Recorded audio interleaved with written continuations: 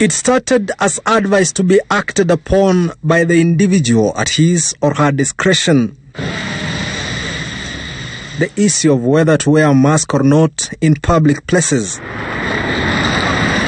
And with cases of the COVID 19 going up daily in the country, the narrative appears to have changed, making it almost compulsory for Kenyans walking in public places to wear face masks.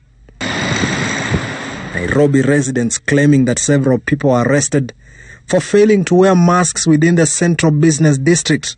Eh, kuna watu wameshikwa na polisi wanawaelezea, ukiwa na uwezo unanunua hiyo mask. Ukinunua mask wanakuacha unaenda, lakini ukibishana basi. But this could as well be the new routine. A spot check in the capital and other cities revealed that people accessing supermarkets, banks, and major buildings were required to wear face masks. Inspector General of Police Hilary Mutyambai, however, says police have no orders to enforce the directive yet. So either it's illegal to not to wear the mask, or not, illi- not or it's legal. That's that has to be communicated through the normal procedures. For instance, in this barber shop, only customers in masks are allowed past the entrance. There is a person taking temperature.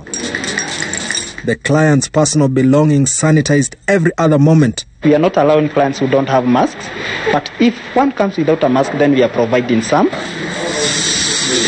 And with the government moving to enforce different regulations in the fight against COVID 19 in the country, Kenyans will have to live with the new norms from offices to transport sector to supermarkets and now to salons and barbershops. If you've got no mask, there is no service. Makori Ongechi, Citizen TV, Nairobi.